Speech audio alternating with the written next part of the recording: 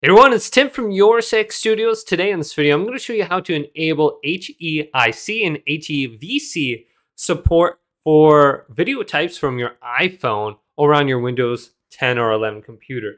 And this is easy to do. If you don't have these extensions, however, you're not going to have any thumbnails or anything like that on your video file. So what you want to do is go on down to search and just type in Microsoft Store unless you know where that is on your computer and we're just going to simply open this up.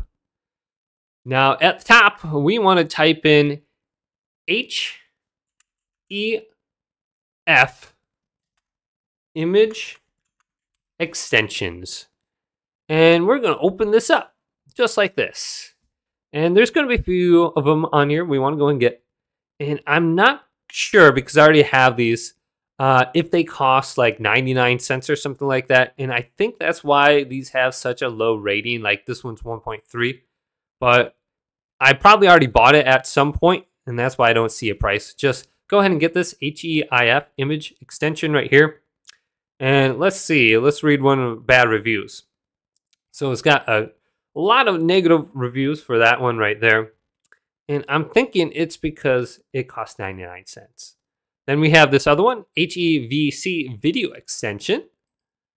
Go ahead and get this one too and open it up. It says play high efficiency video coding. This is how your iPhone is going to default uh, store the video files.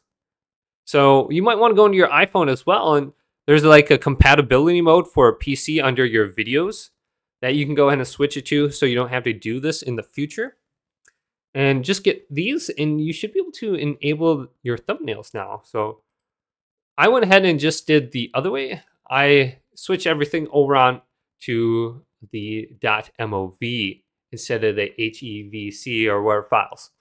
So uh, my thumbnails do show up now, which is nice. I have everything on here. And if I go to properties, show more, this will be .mov file. So you can switch it over on your iPhone very easily. So once you get those extensions though, you should be able to get your thumbnails to display with the other file type. But hopefully this video did indeed help you guys out. Did leave it a big thumbs up and subscribe my channel down below for more tech out videos coming up next on Your Six Studios.